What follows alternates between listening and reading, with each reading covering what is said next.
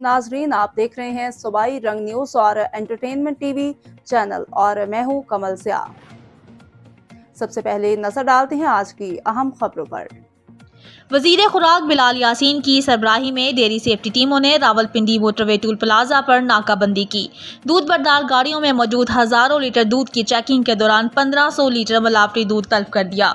बिलावट ज़दा दूध सप्लाई करने वालों पर पंजाब फ़ूड अथॉरिटी की कारी जरबे जारी हैं। वज़ीर खुराक बिलाल यासीन की सरबराही में डेयरी सेफ्टी टीमों ने रावलपिंडी में नाकाबंदी की। मोटरवे टूल प्लाजा पर दूध बरदार गाड़ियों में मौजूद हज़ारों लीटर दूध की चेकिंग के दौरान पंद्रह लीटर मिलावटी दूध तल्फ कर दिया। टैंकर में मौजूद दूध में मिलावट साबित होने पर मालिक को पचास हज़ार जुर्माना आयद किया गया। पैंतीस दूध बरदार टैंकर में मौजूद दूध के मैार को नाके पर चेक किया गया। इस मौके पर वज़ीर खुराक पंजाब बिलाल यासीन का कहना था कि दूध के मैार में बेहतरी के इशारे मस्बत अमल है।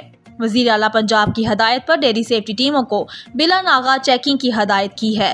मिलावट माफिया माफिया को किसी किस्म की रियायत नहीं दी जा सकती। दिन हो या रात हमारी कार्रवाइयों का दायरा कार वसी किया जा रहा है।